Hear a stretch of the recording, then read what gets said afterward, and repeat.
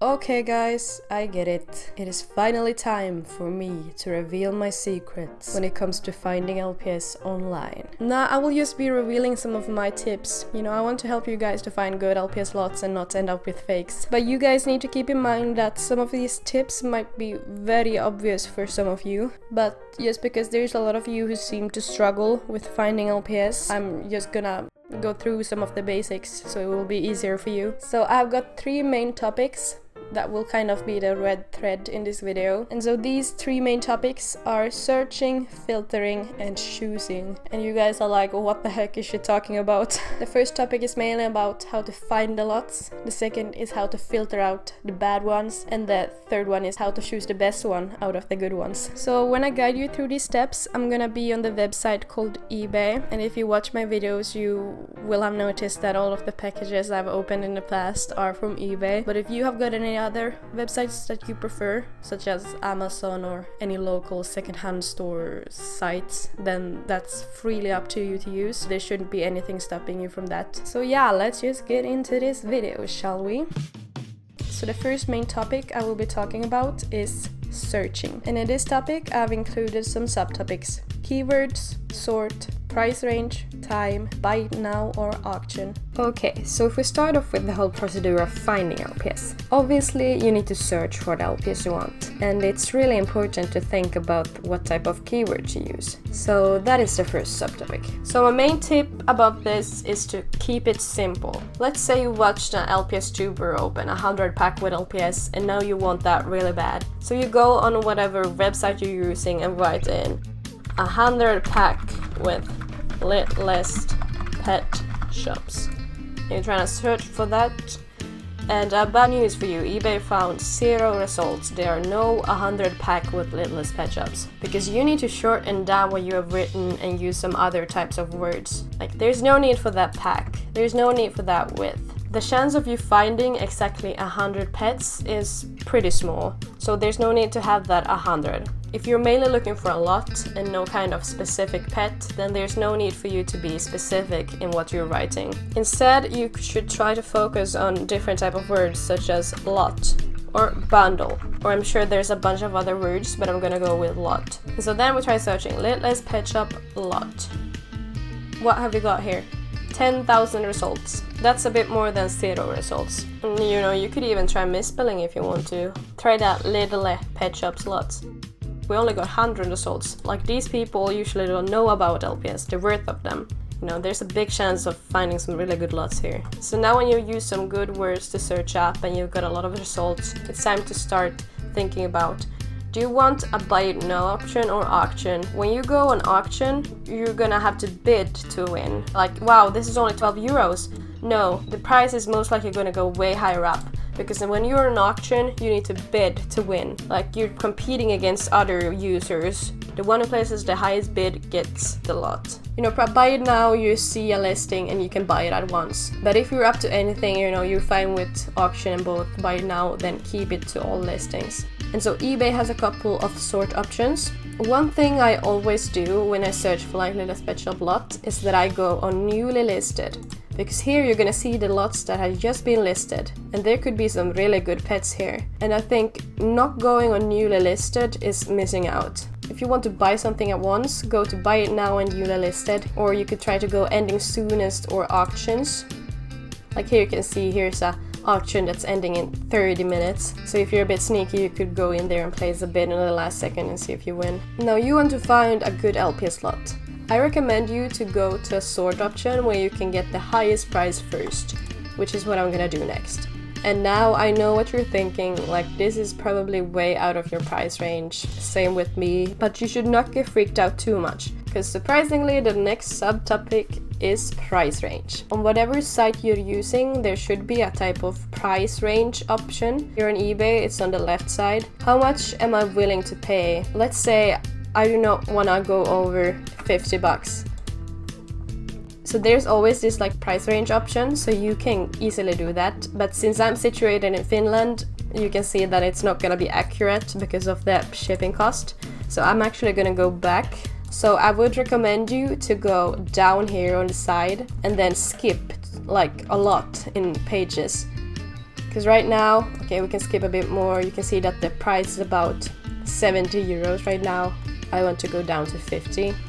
Okay, yeah, so now I'm on page 22. So that takes me to a price range of about 50 euros. So now when I keep scrolling, I'm only gonna find listings that are under the price of 55. So that's great. Even if the price range is a bit lower now, you can still see that there's some really great lots out here. The main thing about when you find the best lots is obviously when you're online. Like there are different time zones, people post at different times of the day. You should not go on eBay and just be 100% sure that I'm gonna buy something today.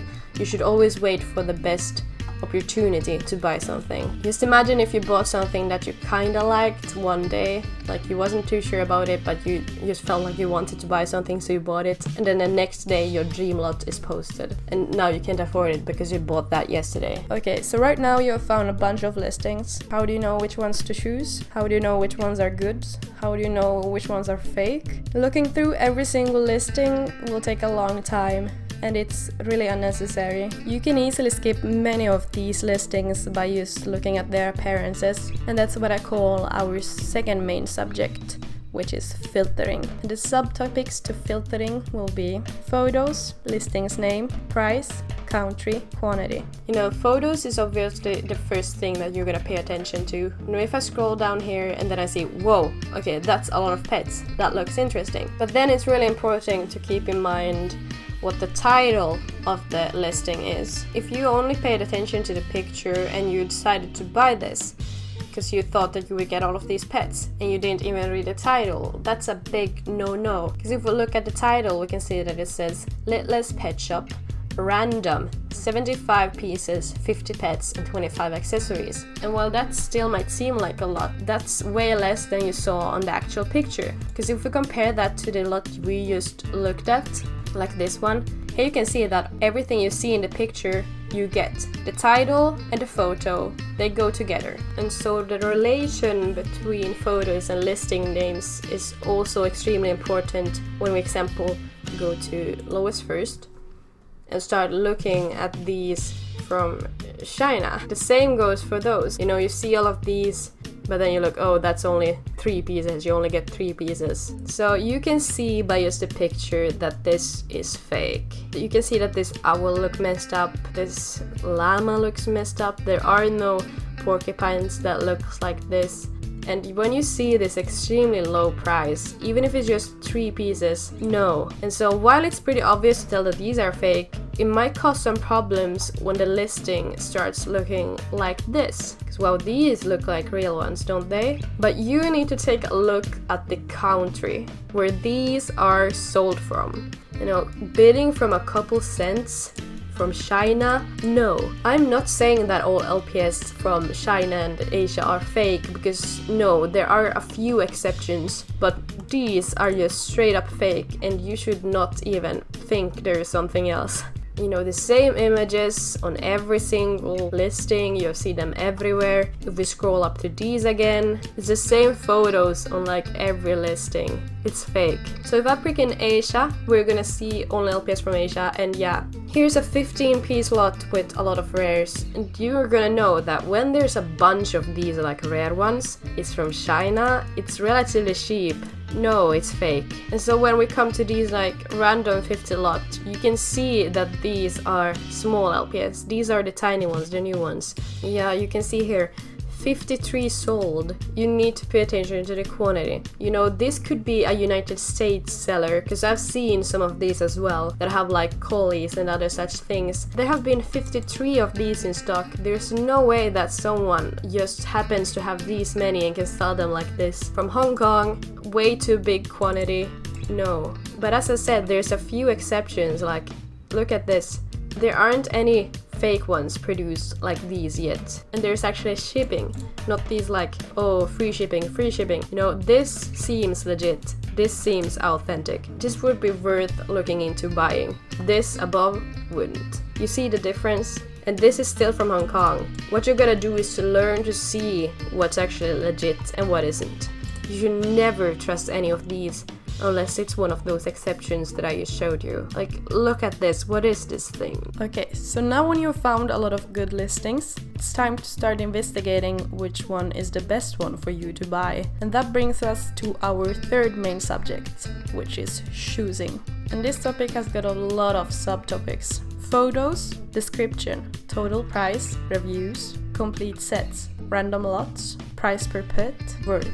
Okay, so let's say you've been looking through eBay and yet all suddenly you find this really good lot. It looks great. So now it's time to go and take a closer look at the listing that you're interested in. And so the first thing you want to do is to take a closer look at the photos. That is extremely important. So you need to go through, see what are the accessories, how does the pets look?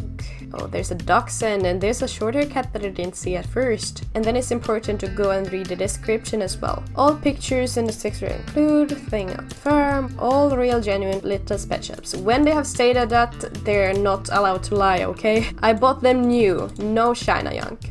This person is aware that there are a bunch of these fake ones, but they have now stated that these are real. This looks really good, okay? And then take in account the price, $80 and about $40 shipping. And that is to Finland, so it's cheaper if you live in the US. And so before you buy, you need to take the whole price in account. You cannot think that you just paid 80 bucks for these pets you need to like put this together that would be 120 bucks for these and so i would even have to take the customs in consideration because the price 120 dollars exceeds how much i'm allowed to ship into finland without having to pay customs so i would even have to pay additional costs to get this into finland and so next up, you should also look at the rating of the seller. Like this is a pretty good rating. But if we're for an example go to one of these Asian sellers. So let's say you really want to buy this collie and you ignore all the warning signs because you know it could be authentic.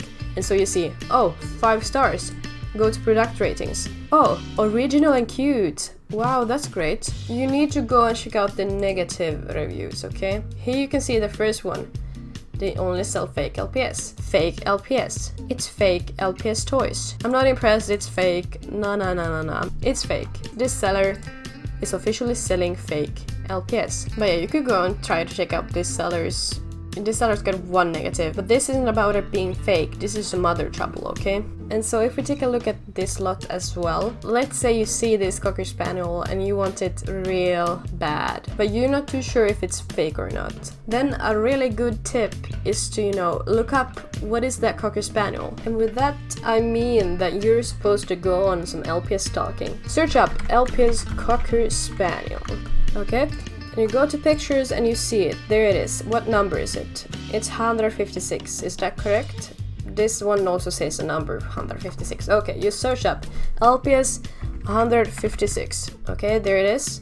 And then I like to go to this like LPS Nicole's blog because she has like answers to everything LPS related. And here you can see that this one is from a carrying case. And if we look down here, it's the same Cocker Spaniel. Here it is in its original packaging. Here's a Cocker Spaniel and here's a frog and here's a carrying case. And if we go back to the eBay listing, we have got the original Cocker Spaniel, the original frog and the original carrying case. And that means that the Cocker Spaniel is authentic. And so that's basically something you can do in like every lot. Because the best type of lots you can find is the lots that people sell away. Like people selling away their children's toys. But yeah guys, you should not give up hope just because a lot doesn't include like like this lot doesn't include any accessories. All of these dogs did not come in the same lot. You know, the seller could easily have lost the accessories or they're just selling these dogs and then selling the other pets in another lot. But the whole searching up the original set is a really good tip that you should keep in mind. And of course, there is this small chance that the seller could have replaced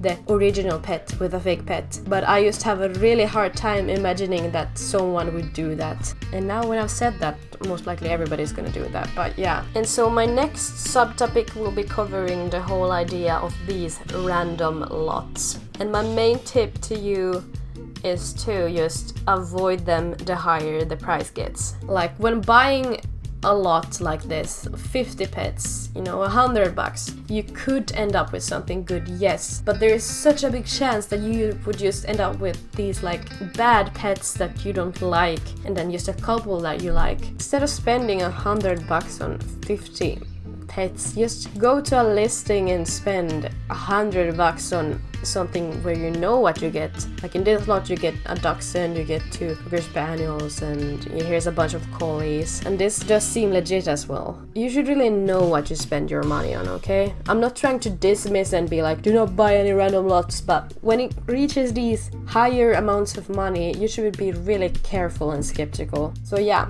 today I haven't really seen any good lots for a pretty okay price. You know, they have all been pretty expensive. But that is also a thing that could take us to the next subtopic, which is uh, the worth of the pets. And with that, I mean that you need to take in consideration how many the pets are and how much you pay for it. Here we have 11 horses for 50 euros, and if we divide that, that would be about 5 euros for every horse. And if you wanted to buy that, I want you to think about, you know, if these were sold separately, would you really pay 5 bucks for every single one of these? And that can also go with the same for like these Great Danes like 50 bucks for 4 Great Danes. That might seem like quite a lot, but if you take and divide that, that's about, you know, 12 euros per Great Dane. That's a pretty good price for an authentic Great Dane. I personally would not pay that much, but if you think about the fact that these normally are sold for about 20 per Great Dane, now you would get one for about 12 per, and you even get some accessories you know, if we go and take a look at the bigger lots now. This lot we have 90 dollars for 55 pets. If we divide that, that would be around $2 per pet. Would you be willing to pay $2 for every single one of these pets? You see that short hair? Yes, you would definitely pay $2 for that. But would you pay it for the hamster down there? So yeah, calculating what the price per pet would be is a pretty good tip, I would dare to say. So yeah guys, you have now officially completed this tutorial. You're now the very best at finding LPS online. No guys, I'm no expert whatsoever, but I am a collector by heart and I just want you guys not to end up with fake LPS or being scammed or not finding anything good to buy. And yeah, that seems legit, doesn't it? If there's anything you're wondering about, if you got any questions, please leave them in the comment section. I will get back to every single one of you. Thank you so much for watching this video, and yeah, peace out. This is gonna be a really hard video to film. Ow, my knees, ouch.